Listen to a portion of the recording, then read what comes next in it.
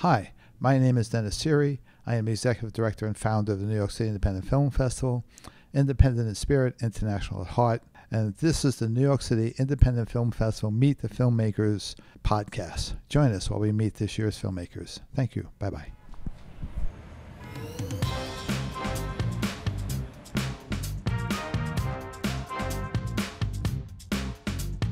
Hi, welcome to this episode. We're here with Rhonda. Rhonda, welcome. Thank you for joining us. Please introduce yourself and tell us a little bit about you. Okay, I'm Rhonda Head. I'm from Opaskwayak Cree Nation. That's uh, 600 kilometers from Winnipeg, Manitoba. It's a First Nation. And I've been a musician since 2010. I'm a 20 time international award winning musician.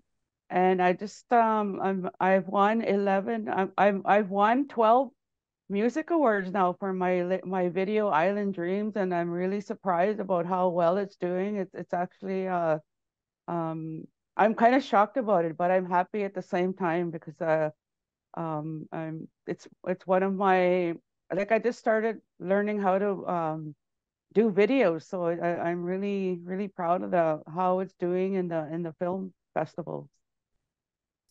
So, what made you want to be a filmmaker? How did that happen?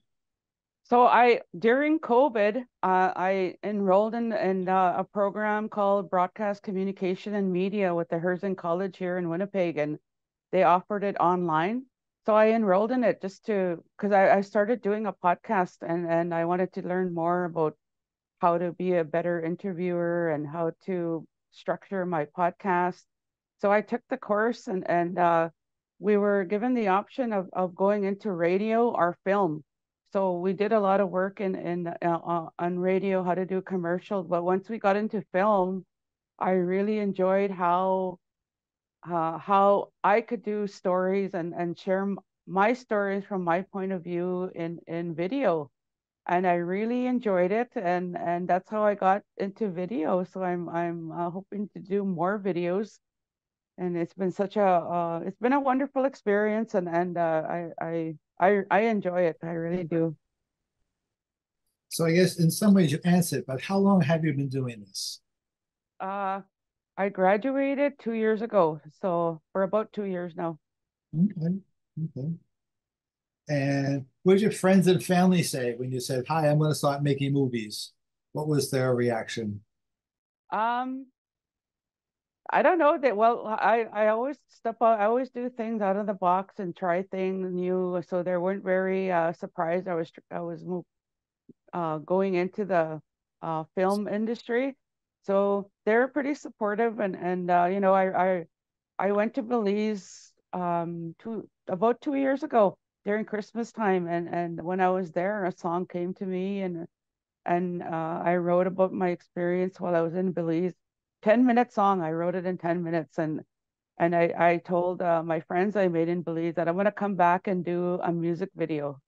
And I did. I fundraised for my like uh it was self um self I invested in it. You know, I I fundraised all the all the money to go and and um I went there and did the video. I I, I did the video of, of my experience of what what I what I my experience in Belize, like the the water, the land, the people, and that's what I did. I didn't focus on myself singing or anything like that. It, I told a story of my experiences, and and um, it was it. I know it's different, but but it's really uh, an, an awesome video, and and I captured this ex, the the experience of the local Belizean people, and that's who I focused on was the land, the local Belizean people, and the water in some ways, you also answer the next question. You're doing well here. Uh, what made you want to make this film? But you kind of answered that, but you want to add more okay. Sure. Well, I really wanted to come back and do the film because I wanted people to see how beautiful Belize is.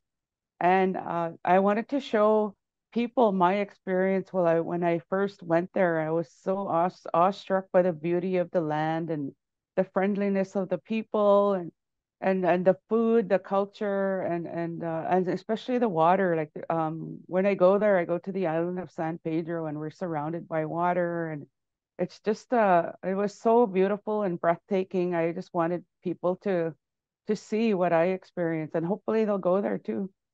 Okay. So I'm gonna put these two parts together. What was the hardest part and what was the most fun part of making this video? The hardest part was was fundraising the the funds to go there.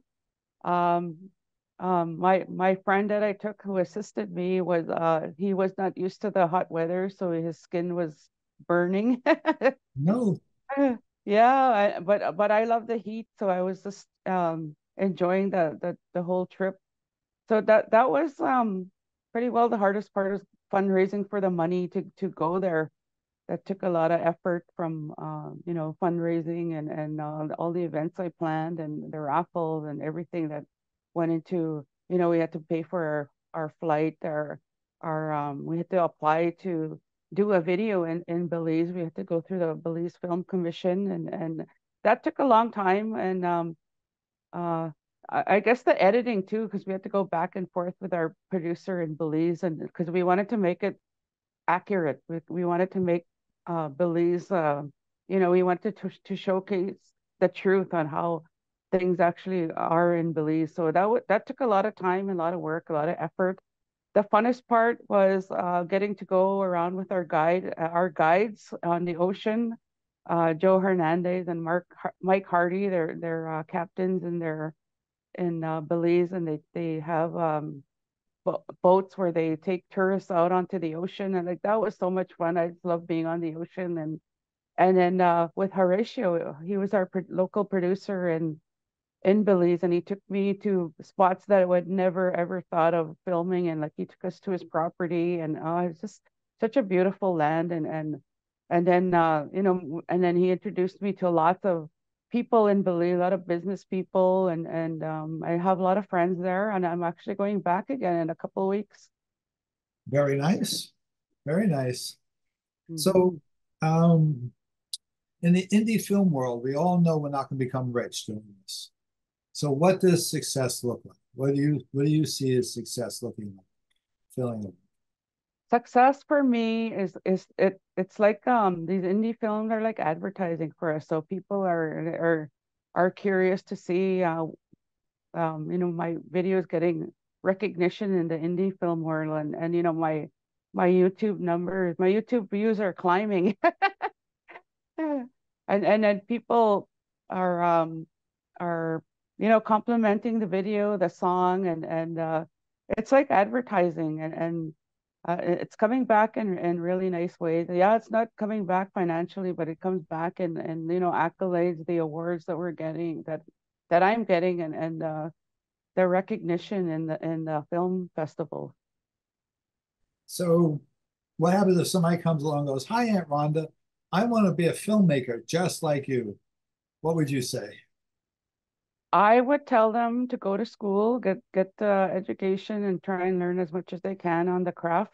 Because I, I like I had no idea I was gonna be I was gonna be making film till I came came across this uh uh course, and I absolutely fell in love with it. And and uh, you know take risks all the time and and uh, try it out. You know, and, and you know start your YouTube channel and and TikTok and just start uh, making film, but for sure educate yourself in in the craft that you want to perfect. All right, so the music video is called Island Dreams. It's going to be shown Friday evening, uh, June 8th at the New York City Independent Film Festival. Thank you, for Rhonda, for being here. Do you have any last words for us that you want to say? Uh, I just want to say thank you for acknowledging my video, music video, Island Dreams. I really appreciate it. And uh, congratulations to all of the other films that are going to be showcased at your film festival as well. Thank you so much.